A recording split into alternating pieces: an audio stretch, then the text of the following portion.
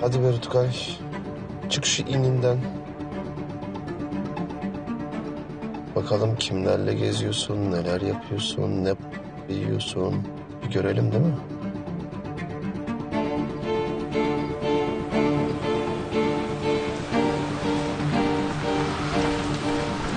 Hayırlı işler.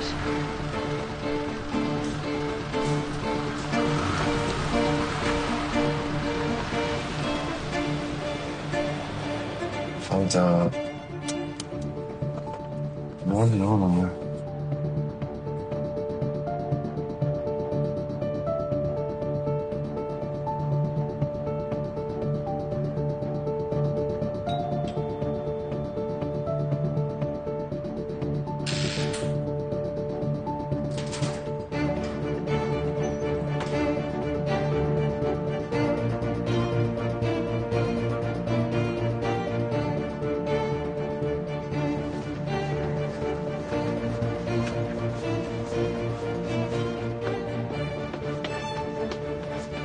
Hoş geldiniz.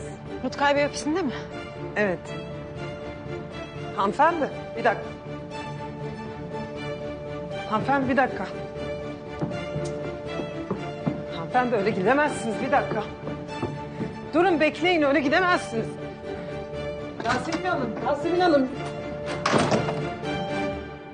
Aa Yasemin Hanım. Benim kazancım ne olacak? Anlayamadım. İşi kabul edersem. Bakü işi. Ben ne alacağım? Ben işte bu yüzden sizinle çalışmak istiyorum. Siz var ya Yasemin Hanım gerçekten tuttuğunu kopartan bir kadınsınız. Uzatmayalım. Benim kazancım ne olacak? Ne kadar istiyorsunuz? Siz söyleyin.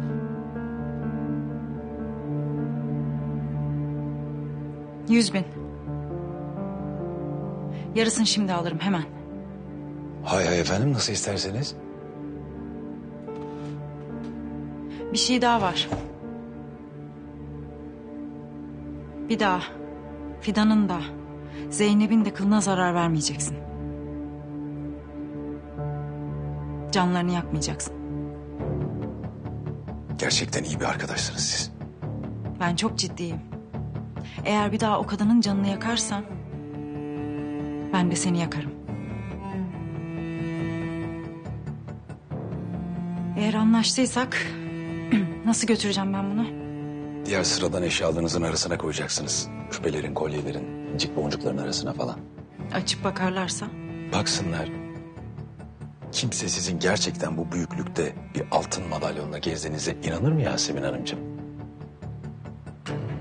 Ya Pardon alınmadınız değil mi? ...doğru söze ne denir?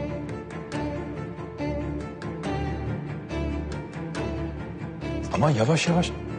Sakin ol. Düşürmem. O kadar değil.